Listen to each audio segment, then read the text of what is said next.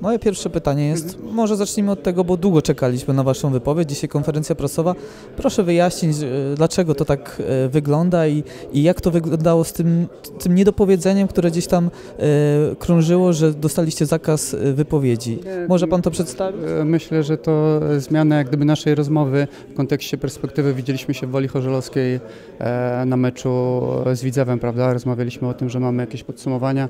Część ludzi wyjechała na urlopy, wracała dopiero w lipcu. Mieliśmy to podsumowanie. Prezes jeszcze raz to, co kibicom wspomniał w kontekście wystąpienia w oświadczeniu, a później w odpowiedzi na pytania. Zrobił to samo z pracownikami, kluczowymi ludźmi. Mówimy tutaj głównie o e, strukturach Akademii.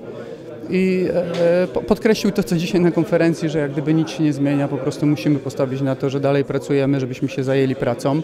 E, tak jak e, dałeś mi perspektywę, że z Jarkiem już jesteście umówieni po e, okresie transferowym na wypowiedź i to jest tyle odnośnie tej piłki seniorskiej, która, e, na którą możemy się wypowiadać i za którą odpowiada Jarek. Nie?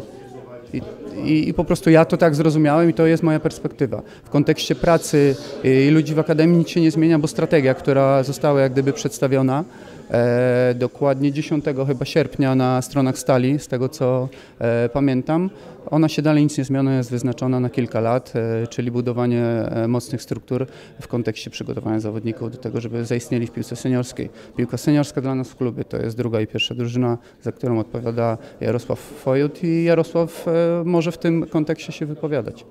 No właśnie, ale też Pan jest dyrektorem, jakby, który ma pieczę jakby nad całym klubem, można powiedzieć, bo zresztą e, prezes Kalisz mówi, że jest Pan jego prawą ręką. Nie wiem, e, jak to może Pan też określić, jak to wygląda, o co chodzi z tą prawą ręką.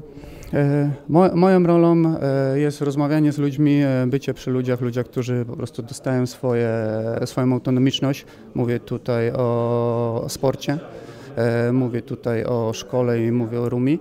I e, cotygodniowe spotkania nasze, comiesięczne w szerszym gronie e, w kontekście też e, innych obszarów pod tytułem logistyka, mm, administracja. E, to ja mam to scalać, e, rozmawiać z ludźmi i rozwiązywać jak gdyby e, bieżące rzeczy, które co do zasady jakiejkolwiek byśmy strategii nie napisali na lata i tak co, ty, co tydzień jest ona w jakiś sposób weryfikowana na przypadki, które się zdarzają. I moją rolą jest po prostu rozważanie tego, wysłuchanie ludzi, a później w ramach jak gdyby wewnętrznych przemyśleń mam spotkania raz na dwa tygodnie z prezesem, raz w miesiącu mamy szersze spotkania z prezesem w większej gronie i dy, dyskutujemy o rozwiązaniach bieżących, które co do zasady nie zmieniają strategii, ale czasami trzeba po prostu pewne rzeczy korygować, bo pracujemy z ludźmi. E, Czynnik ludzki jest dla nas najistotniejszy i cotygodniowe rozmowy pozwalają na to, żeby reagować. I to jest główna moja rola. Dać ludziom autonomiczność w tym, co robią. E, W perspektywie mojej osoby odpowiadać za, niech będzie ten Departament Performance, który gdyby wspomaga piłkę, wspomaga edukację, wspomaga czas wolny, wspomaga obciążenia, za które e, odpowiadamy my wszyscy, po to, żeby ci zawodnicy mogli dojść jak na najwyższym poziomie, ale w różnym czasie, bo, ta, bo tak to się dzieje. E, Każdy z zawodników ma swój czas na to, żeby dojść po prostu do najwyższego poziomu, a co do zasady klub ma też swoje ograniczenia czasowe i musi podejmować decyzje czasami może niezrozumiałe nawet wewnątrz dla ludzi. No miałem, czy- chcę też zadać pytanie odnośnie najważniejszej osoby gdzieś tak przy, przy zespole, czyli trenera. E, nie ukrywajmy, że to Pan gdzieś tam ma najlepszy kontakt z Jackiem Magierą i to podejrzewam, że to Pan zaproponował tą osobę i jak prezes powiedział na konferencji prasowej, to już tam mniejsza z tym, e, czy to było 99 czy 60% jego e, pewności, że będzie w Stali Rzeszów.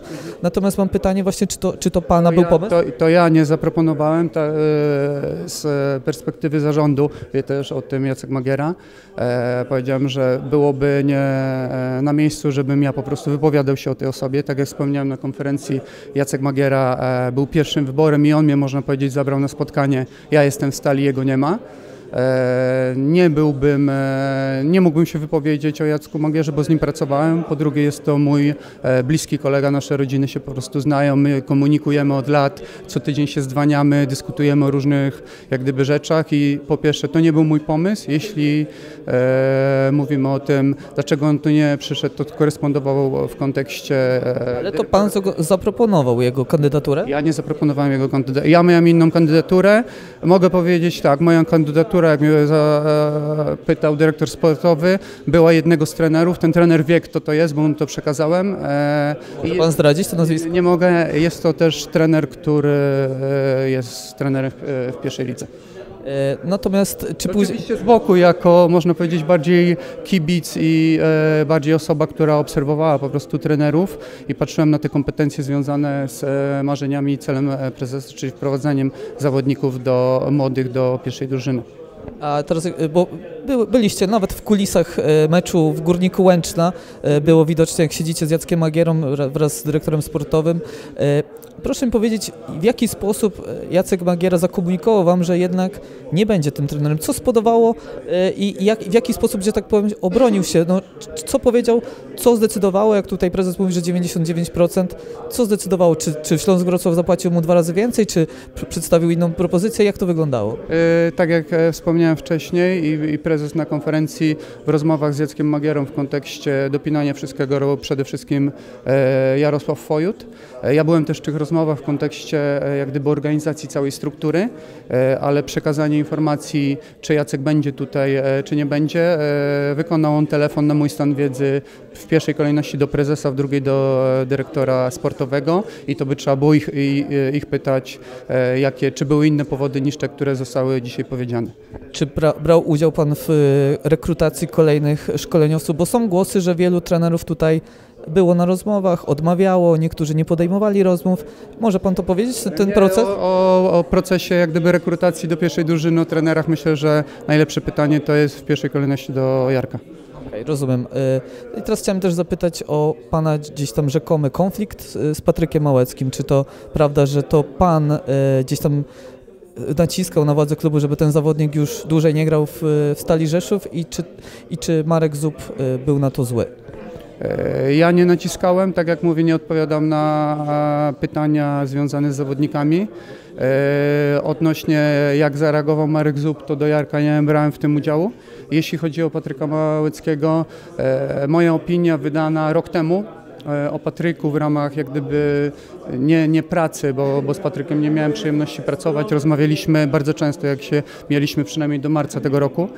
E, uważam, e, no, miałem przyjemność pracowania z zawodnikami, którzy grali w Lidze Mistrzów, dzisiaj są w reprezentacji Polski, mm, młodymi zawodnikami, którzy przechodzili przez różne ścieżki, grają w, w europejskich pucharach, trzema mistrzami olimpijskimi, kilkoma mistrzami świata. Uważam, że Patryk Mazur w kontekście, e, Patryk Małecki w kontekście bycia zawodnikiem i, i, kochania futbolu. Dla mnie z pierwszej jedenastce to jest gość na wyższym levelu odbierania piłki nożnej. E, zawsze bym rekomendował, żeby mieć takiego gościa w strukturach. I jeszcze, no można powiedzieć ostatnie pytanie, bo Stal Rzeszów troszkę odmieniła swoją strategię, a gdzieś tam Pan jest za to odpowiedzialny. E, w zeszłym sezonie nie mieliśmy w ogóle tutaj, no Mustafajew był jedynym zagranicznym zawodnikiem, no ale można powiedzieć, że to taki trochę Polak. Natomiast teraz poszliście bardzo mocno e, w innych zawodników zagranicznych, bodajże pięciu zostało sprowadzonych. Co jest pytanie odnośnie pierwszej drużyny, tak jak mówię, odnośnie zawodników, wyboru. Tylko chodzi mi o strategię. E, strategia polega na tym, żeby jak najwięcej zawodników, tak jak powiedziałem na konferencji, jak najwięcej ze struktur z Podkarpacia, czyli z, tutaj z, e, można powiedzieć z tego regionu, czyli z Akademii, wprowadzić do pierwszej drużyny. To jest główna strategia. A to, że oni się będą rozwijali e, przy zawodnikach e, doświadczonych z Polski czy z różnych krajów, to będzie po prostu ewoluowało. Uważamy, że co do zasady, dzisiaj patrząc nawet na Patryka Mazura, miałem możliwość z nim rozmawiania E, we wtorek. E, Im szybciej i e, więcej będą mieli doświadczeń związanych z innymi kulturami, z innymi językami, z innym spojrzeniem, z innym podejściem do, do piłki jako zawodu, tym dużo łatwiej będzie im zrozumieć w nowych miejscach oczekiwania, które są w stosunku do nich i co do zasady osiągnąć większy sukces, a to jest główna nasza rola w kontekście jak gdyby budowania i przygotowania młodych zawodników do tego, żeby oni tam zaistnieli.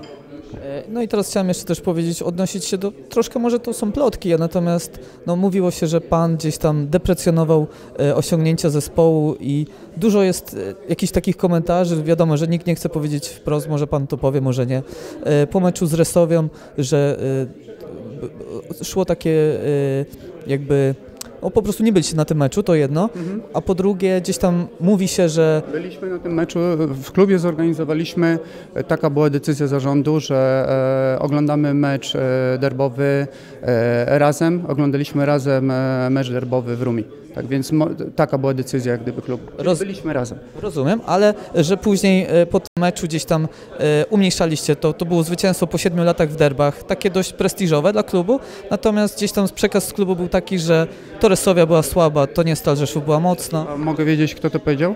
no nie mogę niestety tego Rozumiem, czyli do plotek się nie odnoszę. Okej. E, No i jeszcze jedno pytanie dotyczące e, e, właśnie tej, końcówki sezonu. Mm, Czy, czy, jak, czy w jakiś sposób po- pomagaliście tej drużynie, żeby ona faktycznie awansowała i jak, jak ta pomoc wyglądała? Tak jak e, prezes e, wspomniał, od, e, braliśmy udział e, w e, spotkaniach, e, jak gdyby z e, Jarkiem i z prezesem i z trenerem i e, z drugim właścicielem. Rozmawialiśmy i od e, stycznia bodajże czy lutego e, rolę przejął prezes. My mieliśmy co do zasady supportować wszystkie rzeczy, za które byliśmy odpowiedzialni i to się działo. Dziękuję w takim razie, Sebastianie, Dziękuję i powodzenia i mam nadzieję, że częściej się będziemy Do jeszcze zobaczenia. Dziękuję bardzo.